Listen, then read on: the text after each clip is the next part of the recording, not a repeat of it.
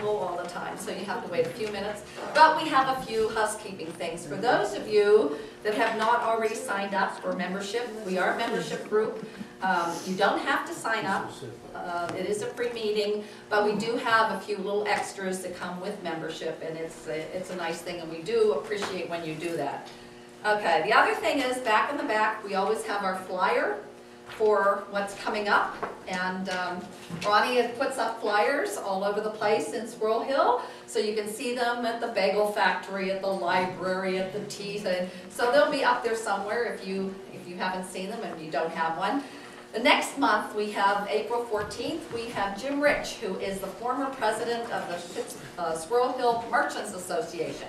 And he's going to talk about Squirrel Hill retailing. 1966 to present. So that should be interesting. Some of the stores that are no longer here. Um, that's the way it goes. Um, then in May, we have, again, Elizabeth Rourke, our professor of art and art history from Chatham, who is going to come and talk to us on the history of Pittsburgh in prints and photography, 1800 to 1900. And she has some wonderful prints. So she will be here May 12th. And then we have um, something new this year. This will be two walking tours. We have a walking tour May 16th, and that information will be out for registering for the walking tour. And this will be for the business district of uh, Hill, which will be, you know, fall right in line with next month's retail group. So we will have that information for you, and it is limited to a certain number. So, and Marianne will be leading that group, and she's done that before, and that has turned out very, very well. Then we have a new one, June 6th, which will be the walking tour of Chatham University. And that we are doing in conjunction with the Chatham University group. They have a tour person who will take us through. And that information will be available next month. Or you can look on the website, or you can call the number down here. We're always happy to give you any information we can. Then in June 9th, we have our lovely Betty Conley, who just came in, Betty, who is a member who is going to monitor and handle a program called I Went to School in Squirrel Hill. And this is one where you are engaged to bring your pictures, tell your stories about all the Squirrel Hill um, schools so that we can put it on video and have it for all, our, all of our historians later than us. So that's what's coming up. And as I said, we always have these in the back, so make sure you pick up one.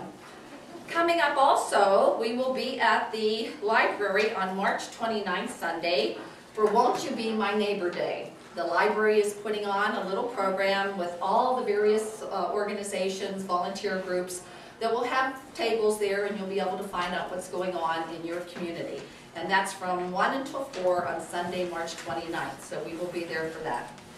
Now, if you do not have, if you do not get an email from us, and we would like to get an email, sign up, we do have a registration sheet in the back. If you just put your name and your email address, we will make sure we keep you posted on everything that goes on. And if you have an organization or a group of something that's going on, feel free to bring in the brochures for our meetings and put them back there and we will post them up. On April 26th, we have another Squirrel Hill Cleanup Day. And I don't know whether any of you have been to the Squirrel Hill cleanup days. They're wonderful. They put food out. They're all happy little folk.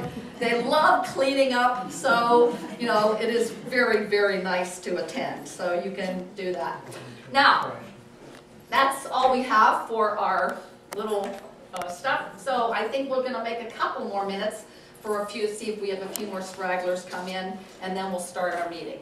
Okay? Thank you. The introduction, I copied introduction of the book. It's the second page in, so I'll. I'll well, maybe I should introduce you. I should introduce, oh no, I, I worked this up. this is good stuff. Okay. Here we go. Our speaker for tonight is Dr. Quentin Sprague, right? A Pittsburgher who has been transplanted to Ohio. Sorry about that. A successful management career in the steel industry, currently Associate Professor of Business, teaching courses in Operations Management at Findlay University, right? He has a long list of academic degrees, including PhD in Manufacturing Management, MS in um, Metallurgy and Industrial Engineering, and you could go on and on and on, and we would be here all night talking about all his degrees. He's written numbers of articles and 10, is it 10 or more? Seventeen books. 17 books now? Boy, he really packs his up. In history, industrial history, business, he is a much sought-after speaker. He's appeared in over 30 national gatherings. And last year, one of his speak, speaking appearances was at the annual North American Jules Verne Society. Right? I love that. Um, Metallurgy of Jules Verne. Fabulous. So we're pleased to have him back. He was here last in December 2007. He spoke on his book, The Boys of Braddock, one of the trio of the 19th century Pittsburgh industrialists. Um, today he's going to speak on the Westinghouse, A Gentle Genius, and he has a, the third trilogy of that was the Metallurgical Age. And you are now working on, Uh, You have H.J. another one Heinz coming will up? be out in May, and uh, Frick will be Frick out will be about out. a year and a half. okay. So he's just going on and on and on. Now, one other little piece of trivia, I just love that. As a youth, at the Buhl Planetarium, of course, which is part of what's now the Science Center of the new building, he received the Wernher von Braun Award for building a small steam engine. So now we have Dr. Quentin Skrabec. And I didn't know the gentleman was for many, many years. It was Wernher von Braun actually gave me a little award. Buhl Planetarium was a lot of little awards for science projects, but uh, it took me years later to figure out such an important man. Biography just came out. Um, okay, what I'm passing around, I say, in there is the introduction from the book, which actually talks, I started the book. I like to start books at, at places that deal with the people. Uh, and I'm working really on a pantheon of industrialists um, at the uh, uh, memorial here in Schenley Park. How many have been to the memorial? Okay, most of it. It's hard to get to. Was when I went there a few years ago, uh, and I went back a couple times. And, uh, it used, by the way, uh, if you didn't know, just to mention, I'll mention it later, but since you'll be viewing that, um, the, the panels are actually aluminum, okay? They're bronze coated. They originally were gold plated, but they were vandalized over the years. The thin gold plate, but enough, enough to scrape plenty of money off of. Uh, So, and they refurbished it, I believe, oh, I don't know, maybe eight years ago. It, it, it- it's, it's in really good shape. Very, like I said, it's very hard to get there if you were just a, unless you're a walker and you were in Schenley Park doing the week. They park down along. Okay, enough of that. Okay, say, I'm really working on the golden corner there in Shady Side where uh, Westinghouse, and Heinz, and Frick are all neighbors. Uh, And, and friends to various degrees. Uh, But we'll start with Westinghouse, because Westinghouse really didn't come out of the Pittsburgh area, it was from New York. It was connected in New York, actually, which is sort of unusual, because that's all, that's the birthplace of General Electric, which was one of his competitors. Let me just turn this off then, we don't need it on. Oh, you can. Leave it on? Yeah, Leave it on. yeah, Okay. they can. Most people like to, Okay. I'll point to it once in a while. Okay. get different things. Born in 1846, 46, sorry. Um, As a kid, he really, he went to, he, he he really never showed much genius. He- liked mechanics, he he always did. He he wasn't much into the main part of uh, schooling. Um, uh, Reading and writing, he didn't care too much for. Uh, He was trained, he did remember that he was trained by McGuffey, he did use the McGuffey reader. Another gentleman I started to write about, only because everybody, that seemed to be a cross, McGuffey seemed to be something that everybody had in common of the industrialists I wanted to write about, particularly Henry Ford, who really loved McGuffey. But anyhow, Westinghouse was another one of these guys that, that was inspired by the McGuffey readers. Uh, They said he went to Union College up in uh, New York, small college. He only went for a couple years. He went into, uh, at the time, it would have probably been, um, um, some, I don't know what it would have been called, it been more, it wasn't engineering, but I mean, that's basically what it was. It was, I think they call it nat, natural philosophy and the arts. Um, And uh, so he got some training. Um, He turned out to be very good at math. in college. That was one of his, that's one of his real strengths. Um, He um, enlisted against his family, his family were German, I didn't, I didn't mention that. Um, Most of the Germans, especially from that era, the eighteen forties, the first German migration were pacifists. Um, Although they're all abolitionists, they're also pacifists. Really didn't believe much in the war, but he, his father did let him go. And he actually, uh, um, worked his way up to a uh, lieutenant in the Navy. Uh, and he, uh, was assigned a short period, he, he was working on steam engines, believe it or not, that's of where he was a mechanic for, for a steam engine on a, on a ship, where he spent most of his time. Uh, came back from college, from the war, uh, and really started to work at his father's shop. Now, his father was sort of had, sort of had a, a black, a combination farm, blacksmith shop, sort of a handyman for the town. Uh, did a lot of repair work. By the way, um, please interrupt, because I know some of you, we've heard some of this, and, you know, you can ask your questions as, as we go, at, at, at the point. Um, and in fact, sometimes it's helpful. Um, what he got interested in, he did, he did want to become an inventor. He was one of these guys that did, you know, did have that sort of a, a, a dream. And uh, he got interested in railroads after he came back from the war. Uh, He was a young man still when he came back. He went, he went at 17, he came back, he was, uh, I don't think he was quite 20 yet, just, just before he was 20 years old. So very, very interested in the railroad. He thought his future might be there.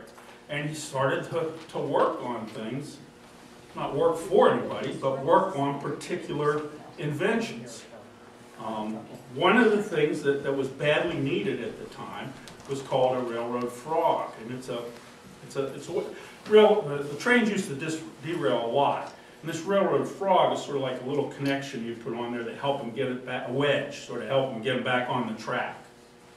Um, Now, he didn't invent it, they had, they had similar things, but the material for it was, was very hard to uh, find. They made them out of cast iron, they didn't hold up very well, cast iron sort of brittle. So he came up with the idea, he wanted to make them out of steel. Steel wasn't a big material at the time. Remember, this is around 1867.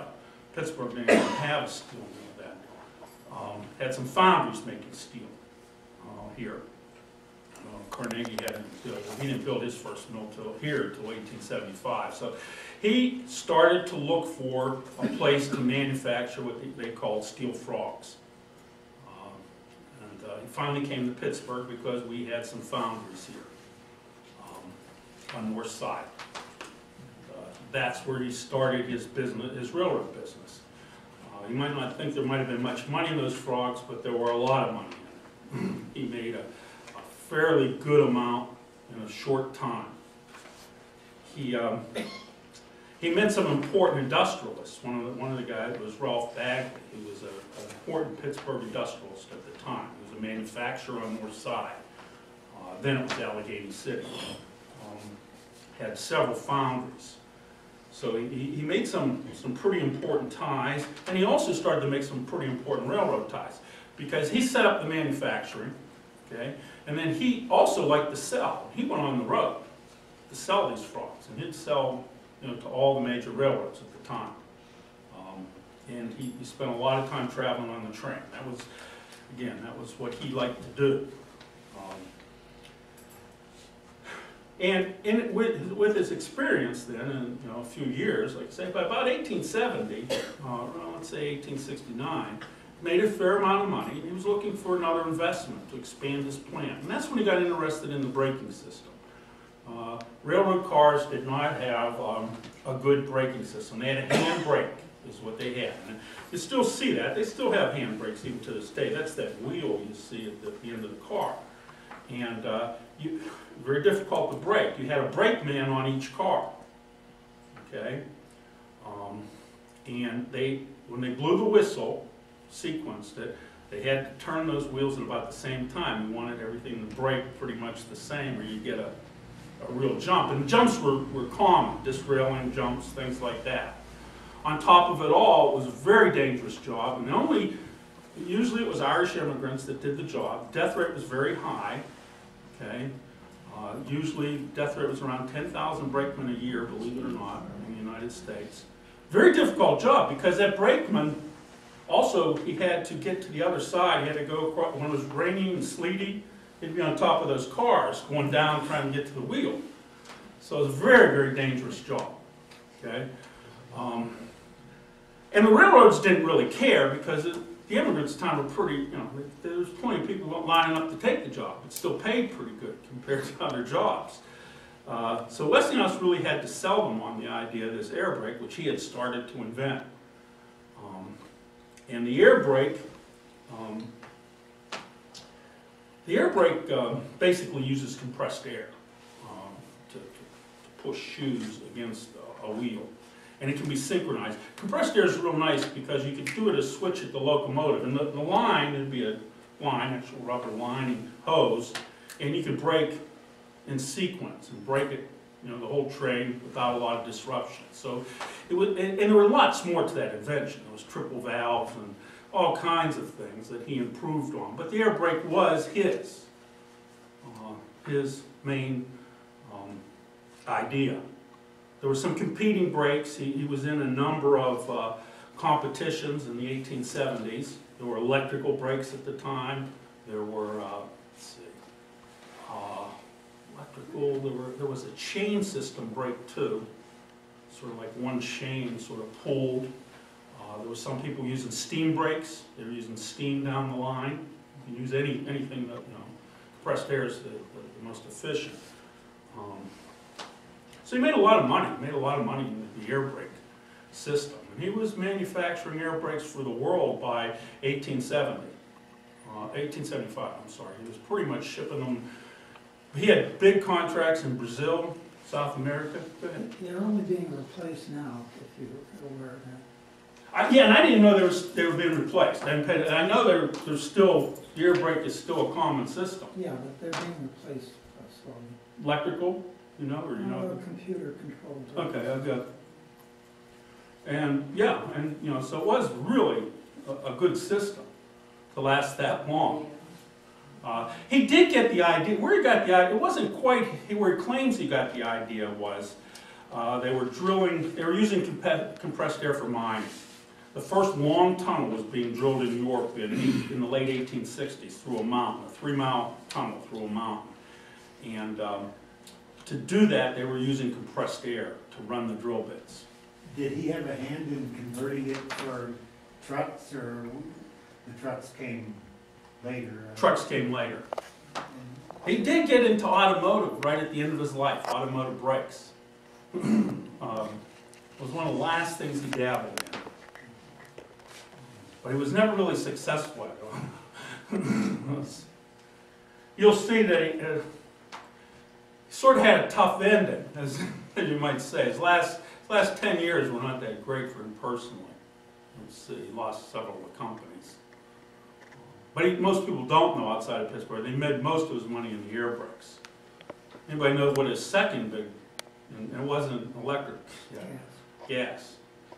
Um, He had a house, uh, he had moved, he, he had lived several places, they lived with his wife, um, and he, he brought his wife in from New York, by the way, He- they got married up in Schenectady. They had lived in Allegheny City, north side, in, in- in a little German section there. Um, As he made enough money, he moved over to um, Shady Side. Um, Well, first he moved to Oakland, I should say. Uh, And while he was there a few years, they were building their mansion in Shady Side, which today is a little park, not far from Frick's Clayton House. Um, Anyhow, at the time, they had discovered, and this is the 1880s, 1883 about, okay, roughly. They had discovered gas in, uh, out by Connellsville in Pennsylvania, natural gas. Uh, They had also discovered, one of the gentlemen was here from Findlay, they had discovered in Findlay, uh, in Ohio, and uh, West Virginia. So people were starting to drill for gas to use it to heat homes and so forth, as an energy source. Uh, Westinghouse got interested in this. He was always, he was an inventor, he really said that, he was out looking for inventions, a lot like Edison did.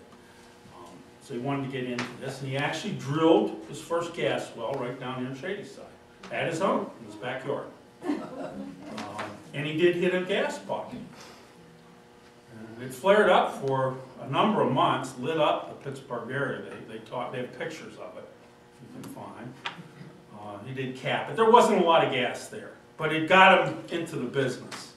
Um, he then started to buy out some of the gas companies, gas wells in closer uh, to Connellsville. And when he really became big at, wasn't so much that, the drilling was, was, you know, the technology was there, was the transmission of gas. He decided, well, they have, the gas pockets out in Connellsville were pretty good. If he could get the gas to Pittsburgh, he could convert houses to gas. So his transmission systems became um, a, a very important um, part. And they were very simple, and later they would be the system that he used that carried him into his electrical system transmission.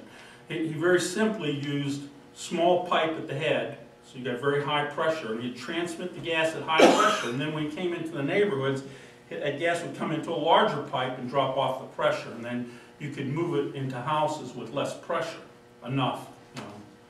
And there was a while, uh, that Pittsburgh, especially this side of Pittsburgh, from about, I have here, about 1885 to 1890, uh, where most of the houses were using gas as heating, and it really cleaned up the air for the shortest period of five years, but it was the only time that Pittsburgh really was pretty clean air-wise.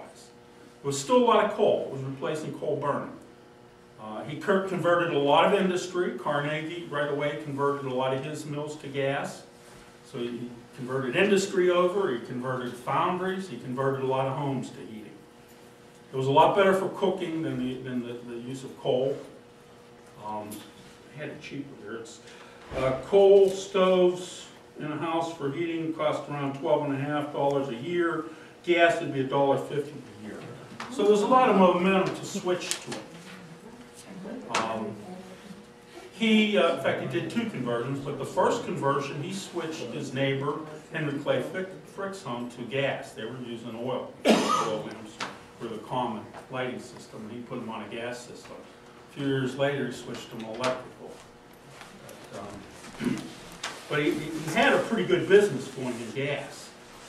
Um, One of his neighbors also was very big, uh, H.J. Heinz, um, switched his factories right away to gas. He switched his homes to gas, his home to gas, and uh, his father's home out in, um, I forget now. Should remember the town, huh?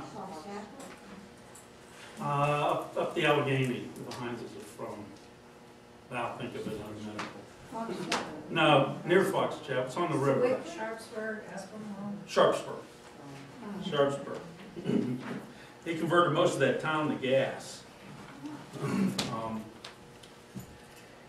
He had, uh, at the time, as the gas started to make him more money, now, he, he did have a lot of money. He had a, a, a- nice mansion, uh, they say in Shady Side. He started to look into the, he started to get interested in electrical uh, power. Edison's light bulb um, came about uh, 1878. Um, In the um, 18, early 1880s, Edison had started to build power plants, DC. Now, Edison's system was DC, that was the thing. Edison, everything he did was DC. Um, He loved batteries, he was, a- he was a chemist at heart as a kid. So DC power can be created by chemicals, so, and it's very simple. Very easy to understand. And he started to build his DC uh, transformer stations up in um, New York. In fact, the first home was uh, J.P. Morgan's home in New York, wealthy financier, who, who backed Edison. Um, The problem with Edison's uh, system was, wasn't the light bulb, of course, that was fine. The DC system, you'd have to build a power plant about every three or four blocks. You couldn't transmit that DC power, It didn't have enough voltage, voltage is pressure. And uh, you couldn't get enough voltage on DC to transmit it very far. So that also meant, in fact, copper prices went through the ceiling, that you had to use a lot of copper as well for wiring and so forth. And uh, that's J.P. Morgan got involved in that because he cornered the copper market also for a while. Um, So the problem was, was not so much um, the electric light bulb at the time. The problem was transmission of energy, again, electricity. This is where Westinghouse got involved. Um, And he really started to look at AC transmission, uh, alternating current. Um, And it was very difficult. Edison didn't want to touch it, because Edison had just, uh, if you know AC, if you- you're an engineer, AC is a very hard, very abstract concept compared to DC current. AC, electrical engineers, you know, have a very tough time in the early going in college because it's very abstract, very mathematical. It's not like DC, it's not like, you know, you put two ends in a potato and you can create a current. It's abstract, it's, it's alternating, you can create the electricity with engines and magnets, and, you know, it's different. Uh, use differential equations, actually, to describe it. Uh, Something that Edison was not suited for, Edison had to hire his mathematicians, he hated math, but was very suited for Westinghouse. Uh, So Westinghouse started to really dabble in this, while he had his air brake plant. Um, In about 1887, his air brake plant was already over capacity, so he started to move, he built another plant down here in Swissvale, in Swissvale area. He also started at the time, a small little research part of that was going to be on electrical power. So he started to get into the game a little bit. Um, And he was interested at the time, what he was looking at at the time was the application of streetcars, electrical streetcars, mainly. He thought if he could, because they were DC too, he thought, well, if I could get this transmission going, I could, and he eventually did, I could start a streetcar company. Uh, And uh, sort of tie off the railroad system. So he, he was very, very interested in that. Um, He, um, so he started the search to build it. The main problem with, they knew how to generate AC current, okay? The main problem with, with the transmission was, um, you had to, you, you had to get the high voltage, which he could get, he figured that out. That wasn't so much the problem, the problem was you couldn't use that high voltage in the home. Okay, you had to step it down. Same's true today, you know, our high, quote, high power lines or high voltage lines, that's for transmitting in a long distance. When you get to the home, you've got to step it down. And to step it down, you need something called a transformer. Okay? And that's where his research, started to center on. Now, again, he was into so many things that he wasn't like Edison. He wasn't the guy in the laboratory necessarily playing around. He was the idea man. And he hired a lot of people to play around. Um, and one of the gentlemen, one gentleman he picked up in the, in the late 1880s was Tesla, Nikolai Tesla. Okay? Um, Tesla had been working for Edison, but they just didn't get along. I mean, they were both, quote, geniuses. They, they, they, had, they were very opinionated. Uh, they argued a lot. Tesla thought that Edison was an idiot in his mind. Tesla very abstract, mathematical with his electrical equations and things like that. Edison hated that. You know, Edison, much better mechanic though, things like that. You know, he could wire things. Tesla was into the, you know, uh, generation and uh, a lot of dynamo uh, power generation and so forth. Um, very, very, very abstract concepts.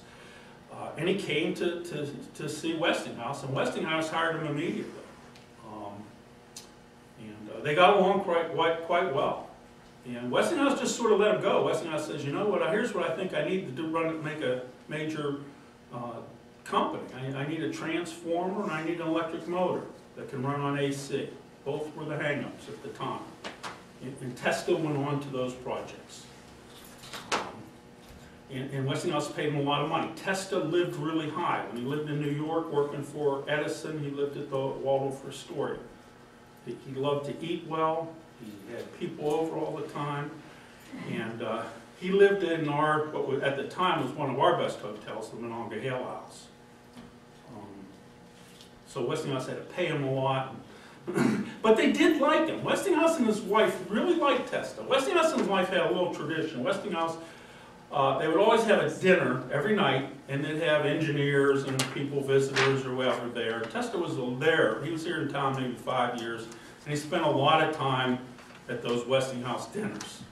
Uh, and, and there were dinners, and then Westinghouse and him would talk in through the night. That's what they liked to do. They'd play pool, you know, pool table at the time and then talk into the night. Uh, And they, they did, Westinghouse loved that, he loved to talk with people. Uh, He had a lot of people, famous people in. I did mention Westinghouse Mansion, he actually uh, had a railroad station, uh, Pennsylvania Railroad had a station and stuff just for his house. He had a tunnel that went right there. Um, So he had high ties. He also befriended a, a- a young man which later became his very good friend. When he was in the, one of the things with the air brakes I forgot to mention was a big fight in this country. It took many years to get that in. Railroad companies didn't want it, it was expensive, they didn't care. I mean, there was no insurance or legal issues for the immigrants dying, ten thousand, didn't mean a lot to them, okay?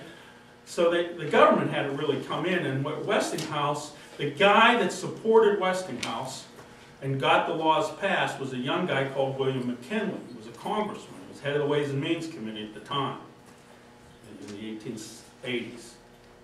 And uh, became very good friends with Westinghouse. He often visited Westinghouse and used Westinghouse railroad car. Westinghouse had a special Pullman car, most people did in that neighborhood. And uh, so he became very good friends with McKinley. Later on, that would become very important. Um, So he had, he had sort of an insight into, uh, to government uh, as, as McKinley became more important over the years. Uh, the power battle, okay, well, Tesla, to make this short, overcame the technical problems. He did come up with a transformer. He did come up with a, uh, electric motor, AC, okay? But now, the business side kicked in, okay? Uh, It was no longer Tesla, was, actually Tesla went on to other things by himself, many other projects. I mean, There's lots to read about him. Um, And lots of movies on him. He was such an unusual character that there's been a lot of movies on him, a lot of books. Now it was the business side. He was up against Edison, who was backed now by, it was then called Edison General Electric, who was backed by J.P. Morgan's money. And they had already committed to these big power, they were building them, they had them in place. Nobody really wanted to start moving the AC. And this was, you know, so he, he was, he, he was gonna have a big battle. He had to somehow convince people of this. And the place he convinced is one of the, the panels there was the World's Fair, the eighteen ninety-three World's Fair. They needed, this was to be the, uh, White City, the, it was to be the first World's Fair, first city that was really lit by lights, electric lights. I don't, but, uh, huge, huge amount of lighting. Um, you know. Um, And he bid against Edison on the contract for it. Um, And he underbid, and finally, there were lots of politics that went on, Chicago had, had a machine, a political machine that uh, Morgan owned, yeah, they still do, and it was the same thing. If you, if you read, that mayor was very corrupt, he eventually went to jail, uh, and, and that's a story unto itself. But somehow, after a couple bids, because finally the, I think the United States Congress stepped in, finally Westinghouse got it because he had the lower bid. Okay? So now he has the contract for the World's Fair. This is huge. I mean, this is hundreds of thousands of lights. Uh, Big, the, the machinery building, the dynamos to run this was huge, it was gonna be a block long. Uh, Just the generation plant, so big. He won it, he's all set, he starts the work. This is eighteen ninety-one. Fair's coming up in a couple of years. had Morgan and Edison do another business move. They still own legally the patent rights to the light bulb. And that, that he needed. You know, he was gonna supply AC, and the Edison bulb would work on that, but, so Edison, they wouldn't supply any light bulbs. And he needed, again, he needed hundreds and thousands of light bulbs. Uh, So he had to sort of invent his own, and it wasn't a very good one, but he got the job done. It was a sort of a glass stopper instead of a metal stopper on the bottom light bulb.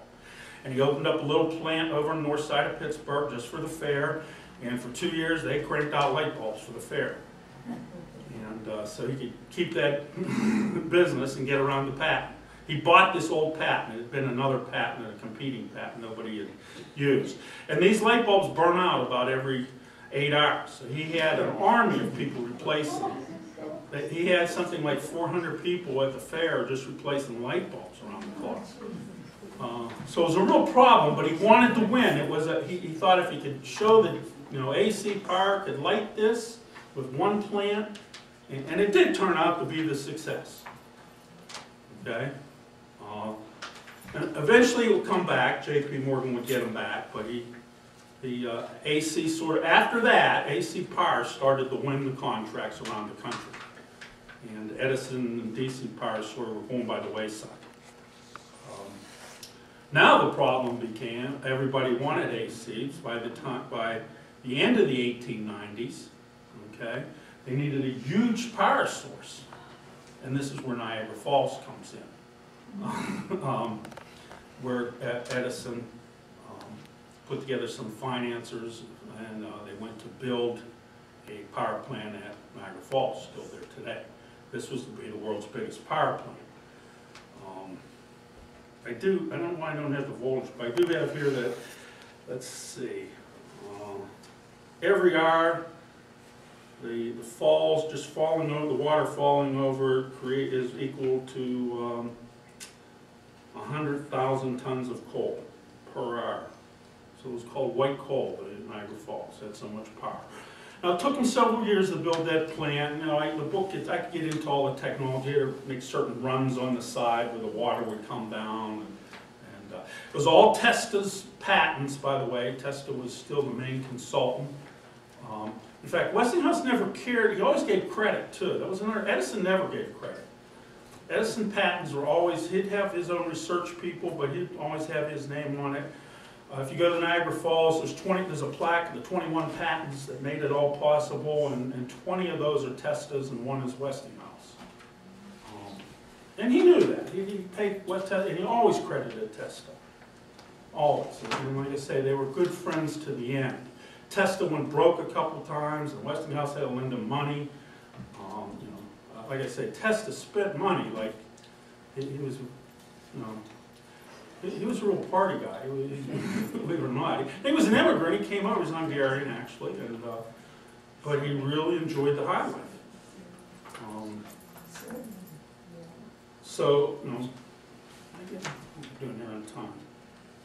Too bad, you can ask questions, I don't know if I'm going where you want to go or not. Okay, now maybe to that, so that takes us to maybe the more interesting thing.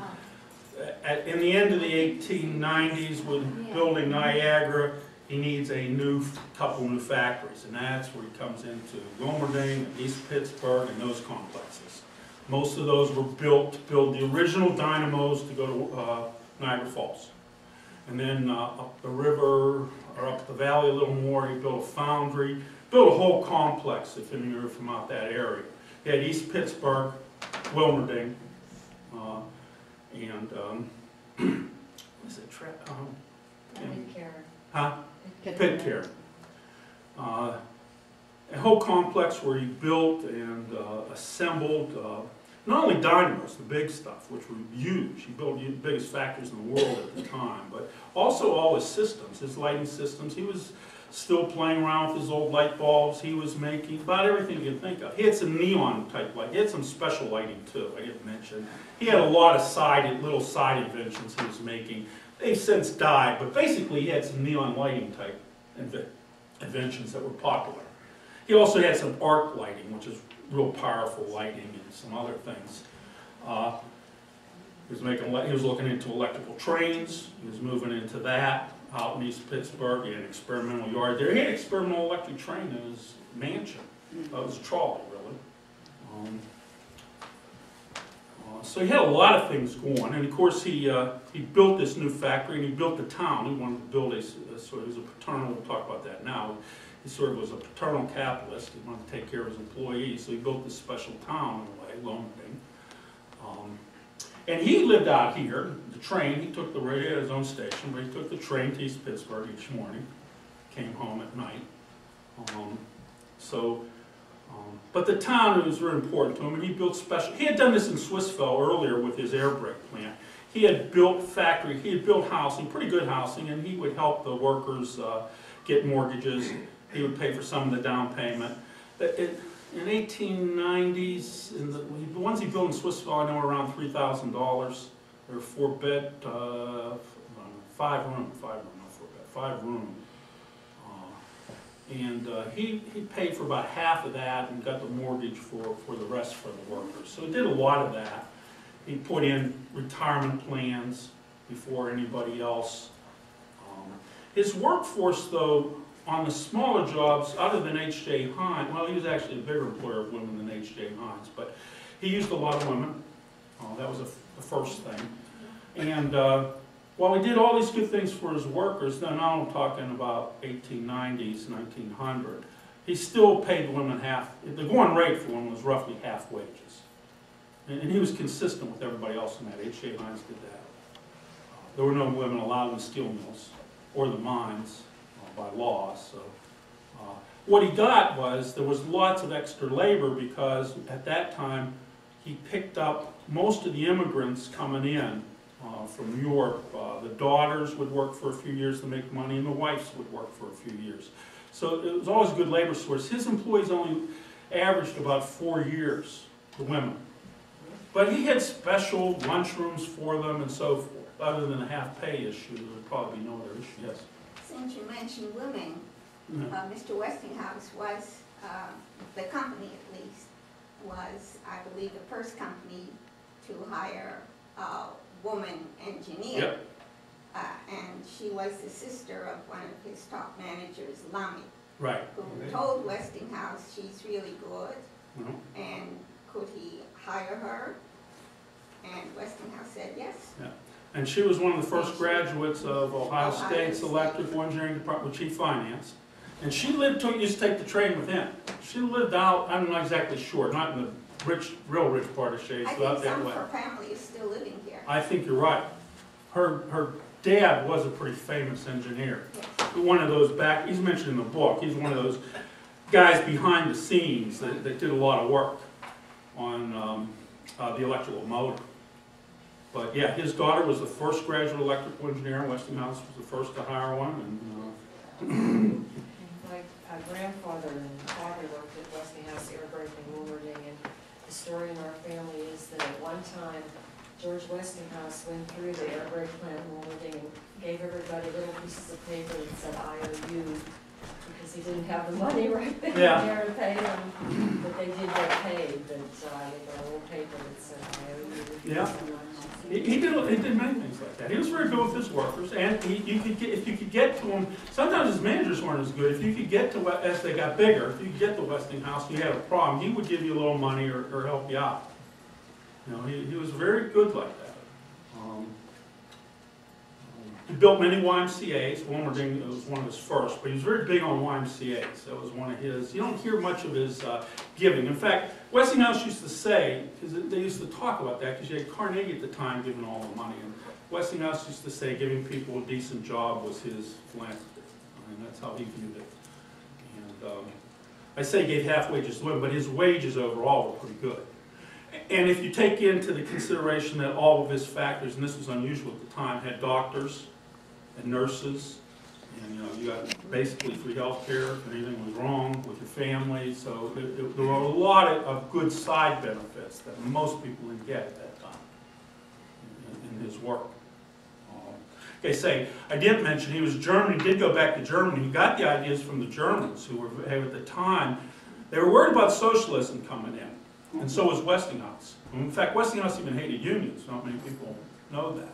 But one of the ways they thought the alternative was, there was this paternal type capitalism, take care of people decently, and you wouldn't have these issues. And, uh, so that's the way he went, so did H.J. Heinz. Yes. Yeah, did, did, uh, Westinghouse and other industries have the twelve-hour, seven-day work week like No. the steel mills did? No, no. Uh, Originally, his was, uh, that's a good point, though, he did do some unusual things. His days for the men were nine hours and women were seven, I believe, whi- which was about standard. The mills were, were right, around twelve at the time. Um, He was one of the first, in fact, the first, to uh, give Sundays off in Pittsburgh. And then he went to, he was one of the first to go half-days on Saturday. Um, He was a big believer in that.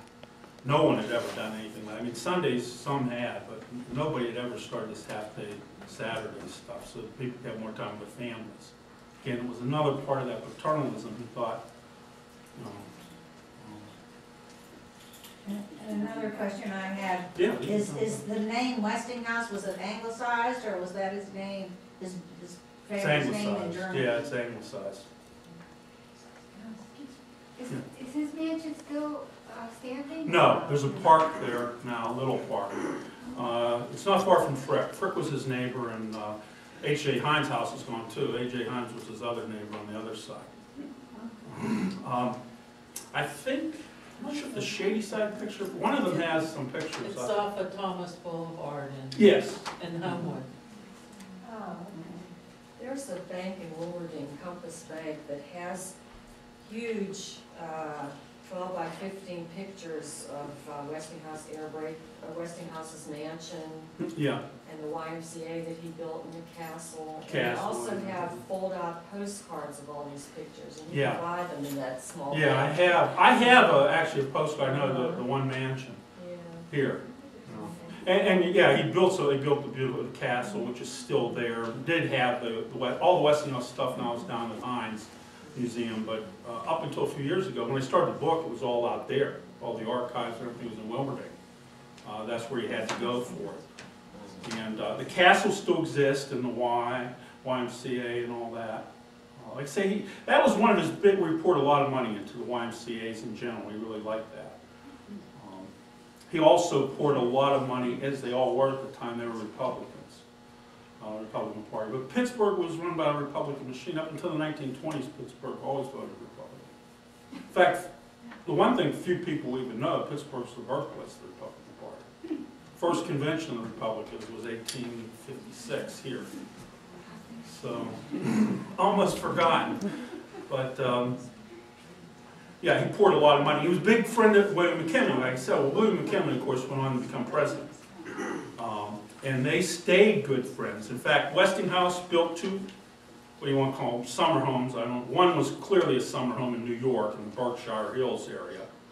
Uh, And he lived maybe half, towards the end, he was spending about six months there. His wife liked that, because Pittsburgh was pretty dirty by then. And uh, he also built, when McKinley was president, he built, he didn't build, he bought, in, if you've ever been to Washington, there's a wealthy section called DuPont Circle. Uh, He bought, at the time, the guy had run for president a couple times, his name was James Blaine, uh, a Republican. And he bought that house when McKinley was there, because he used to go to parties with McKinley and, and so forth. And and like I say, they remained good friends. McKinley visited them here, would visit them up in New York. Uh, They remained very good friends. Uh, Do, I guess I'll quickly move to the sadder part of the story. There's lots to talk about and read about and all this work with employees. Certainly, that's probably what he's best known for. Um, 1907 was a tough year for him, though. Uh, That was the panic in 1907, something like we had today. Uh, In fact, very similar, very similar. A large insurance company uh, known as Equitable in New York crashed, couldn't pay its uh, policies. That sent the stock market into a huge crash. Um, Liquidity, banks dried up. And in those days, you didn't have a Federal Reserve. And um, what they did was, and Westinghouse on his electrical side, well, he had always, he had many companies, he had them all separated. Well, West Air Brake was one thing. And Westinghouse, which, electric, which really was his favorite now. I mean, that's the one he loved at the end, okay? He had, because of the fair and a lot of things, he had a lot of loans out.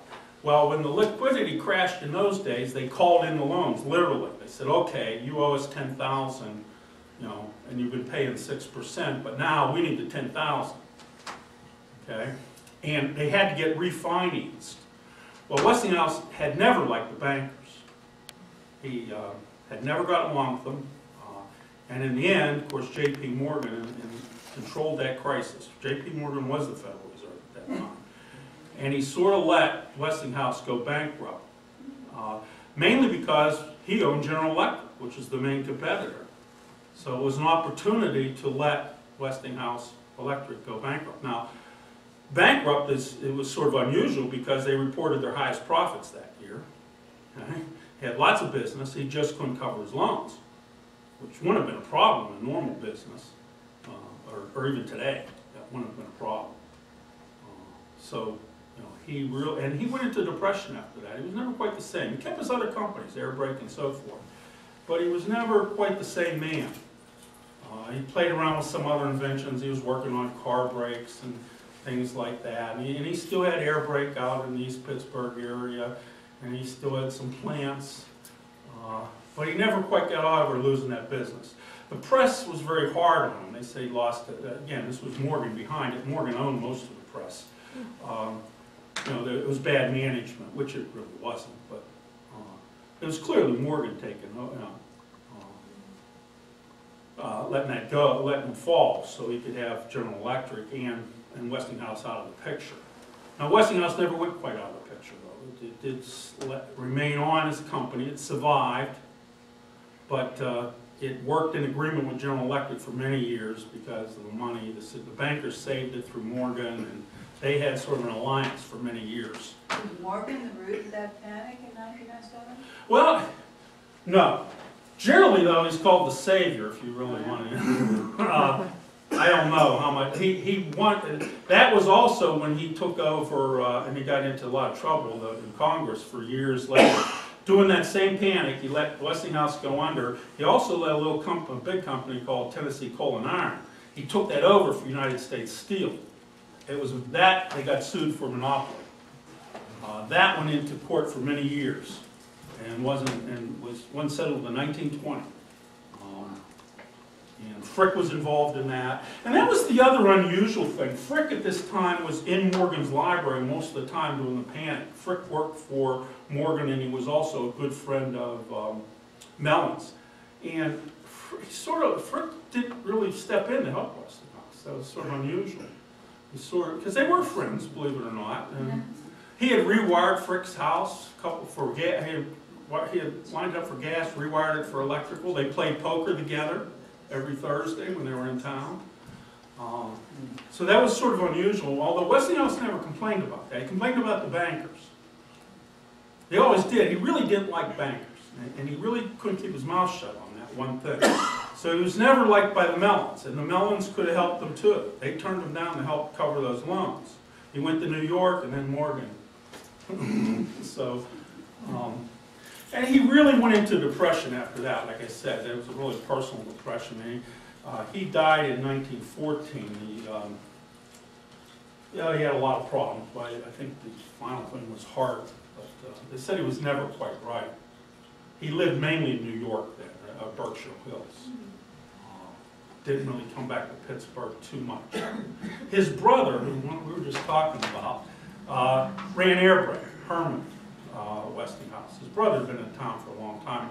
He continued to run most of the Westinghouse industry hands-on. Um,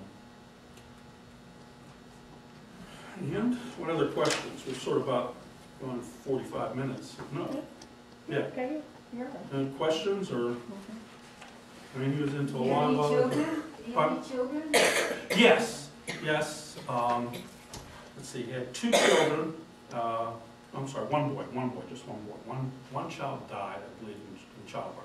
Uh, so he had a boy, and, and- and I just, I'm in a DVD that they had down at the Heinz. I got to meet, meet uh, George, George Westinghouse the fourth. The fourth. Most of the family lives in New York, as you might expect. In fact, all of the families now either lives in New York, Canada, or England.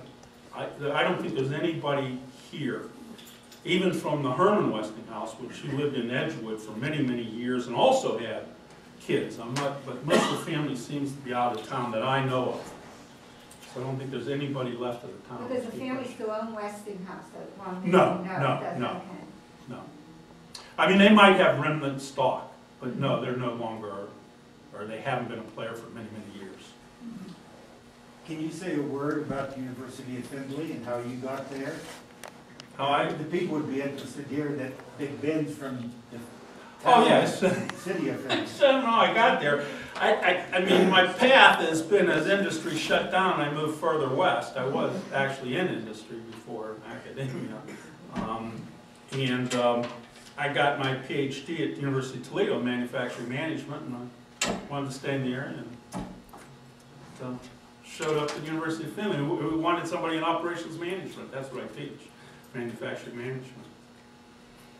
It's easier to talk about the history because the country doesn't have much manufacturing anymore, so. And you talk more about the history of it. I have another tidbit about Westinghouse Air Brake. Uh, my father retired from there forty years ago. He's been deceased for about ten years, but his widow, my mother, is ninety-one, and to this day, pensioners and, uh, dependents get Highmark Gap insurance for forty dollars a month. Yeah. My mom's here, she was a Westinghouse employee. All Yeah. I don't think she gets, it. you weren't there long enough, so I guess. That's you true. should. I don't get unbelievable. This was built by his employees, by the way, in nineteen thirty. It took them a long time to get all the money collection, but it actually was built by his employees, not by the company. When Westinghouse lost his company, did they continue these liberal uh, personnel policies? Yes, So they actually did for a while at Westinghouse, for, yes, they actually did. It's amazing. The management stayed in place, it, it really did. It was just, they wanted rid of Westinghouse, they wanted, the Morgan wanted to control the board, so I could get into a long story here in the book. There were patent fights between General Electric and Westinghouse all the time. Morgan wanted that ended, and that's, and once he got that in, that he didn't care really how they managed the company. So a lot of it stayed under the old Westinghouse. He didn't like competition. No, he didn't. I was in, uh, I took a tour of Hoover Dam, this had to be about fifty years ago, I'm a long time Yeah. employee of Westinghouse. Mhm. And you see in the turbine buildings, big machines of Westinghouse, Yeah. Oh, Westinghouse, yeah. Westinghouse. The times changed, they had a new one that says Brown Boveri, last one, you know, so. They were big, big. Oh, yeah. Big, He built, and they built a lot of those big, in East Pittsburgh in that area. yeah. I mean, it's amazing. They, you know, I talk about in the book, you're in manufacturing, some of the biggest cranes in the world had to be built because of moving those parts in that plant was just very, very difficult. you know. So, But it all sort of plays, like I say, um, Heinz will be out soon, and that was sort of, they were friends, and Frick was friends. Sort of, like I said, I'm more sort of a pantheon of these industrialists. Nobody from Findlay, although I did write about Michael Owens from Toledo, I mean, he worked in Findlay. So where is he buried then? In, uh, New Westinghouse is in New York. Yeah. Oh, I'm sorry, New York, uh, I spoke too fast. He was buried in New York. A few years later, they moved him, at his request originally, they moved him to um, Washington DC. He was a veteran. Um, Arlington. That's what he wanted originally. I don't know why it took time, but they buried him in New York originally. Well, uh, at, uh, with the use of AC, of course, making everything electric became some, something to do, of course. Mhm. And uh, Westinghouse did become an internationally known name.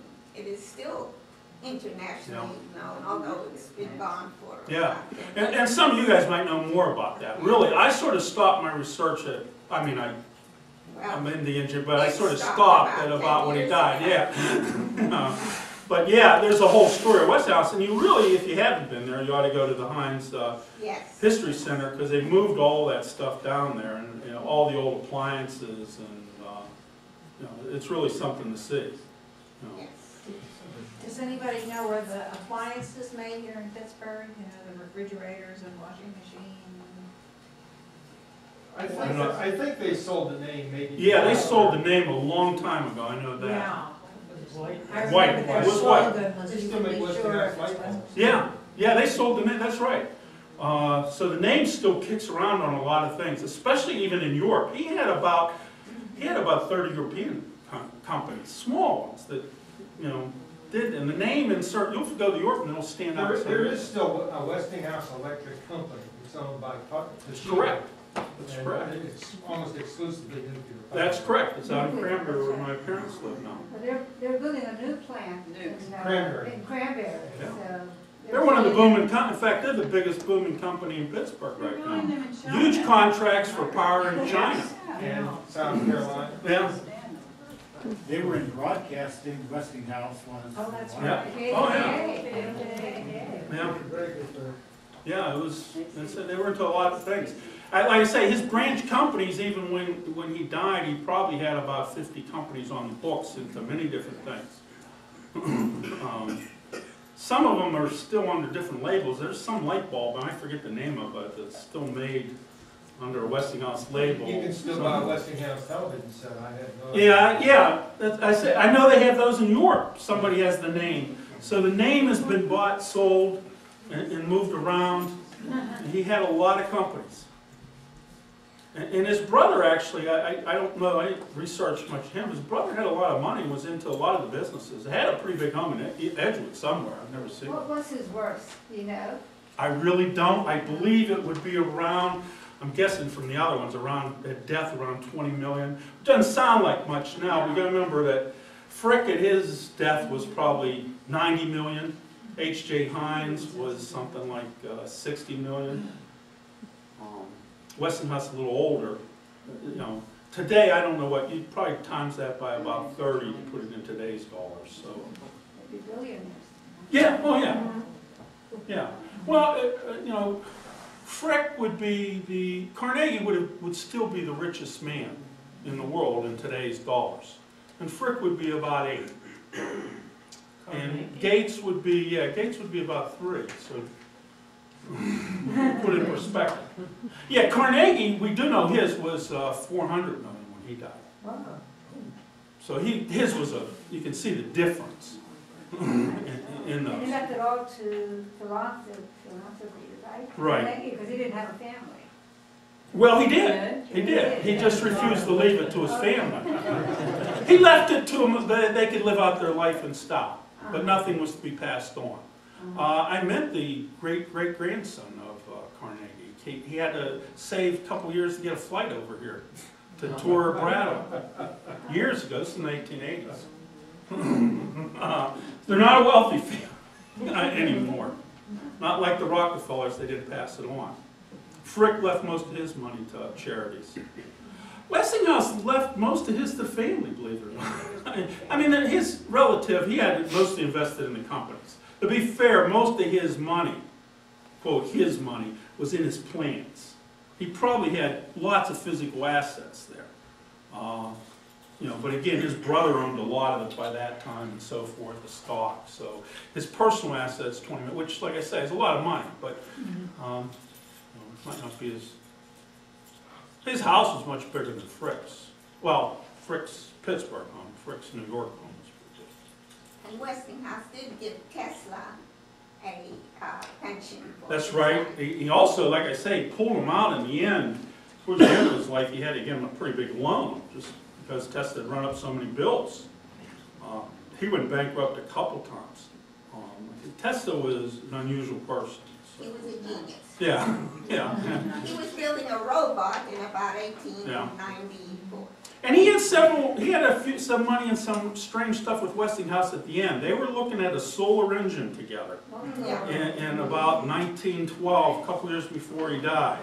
And Westinghouse had invested some money into this thing. I'm not sure all the details, but it was going to be a solar engine out, in the had it out Also, west. I think Tesla was finally given the patent for radio Yes, uh, instead of. absolutely, uh, instead of Marconi. Marconi.